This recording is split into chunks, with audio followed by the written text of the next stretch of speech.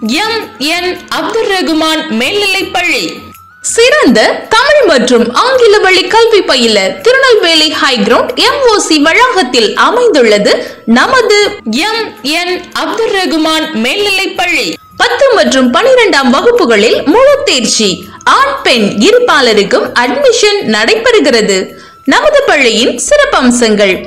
தாய் தந்தை இல்லாத ஆதரவற்ற குழந்தைகளுக்கு இலவச கல்வி வழங்கப்படும். திறமையான ஆசிரியர்கள். மாணவ மாணவியரின் தனித்திறன் வளர்ச்சிக்கு ஊக்கமளித்தல்.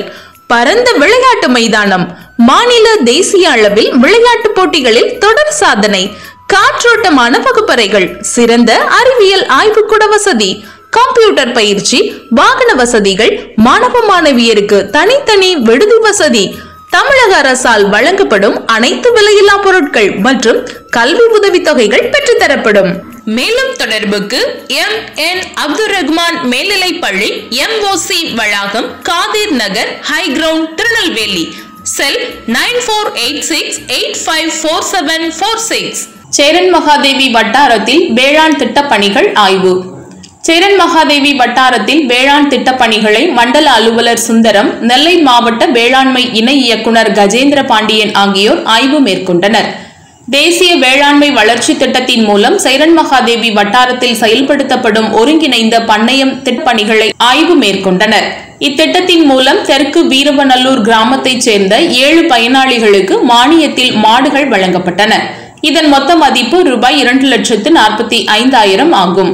இந்நிகழ்ச்சியில் கால்நடை மருத்துவர் நாகூர் மீரான் மானியத்தில் வழங்கப்பட்ட மாடுகளுக்கு அடையாள அட்டை பொருத்தினார்.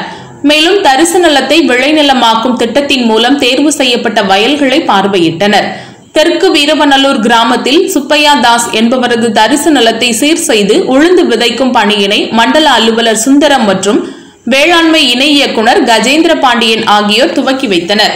இந்நிகழ்ச்சியில் வேளாண்மை துணை இயக்குனர் மாநில திட்டங்கள் சுந்தர் டேனியல் பாலஸ் வேளாண்மை உதவி இயக்குனர் கற்பக ராஜ்குமார் ஆகியோர் உடன் இருந்தனர் மேலும் தேசிய வேளாண்மை வளர்ச்சி திட்டத்தின் கீழ் தரிசு நிலத்தை விளைநிலமாக்கும் திட்டம் மற்றும் ஒருங்கிணைந்த பண்ணைய திட்டங்கள் மூலம் நான்கு பயனாளிகளுக்கு இடுபொருட்கள் மானியத்தில் வழங்கப்பட்டது.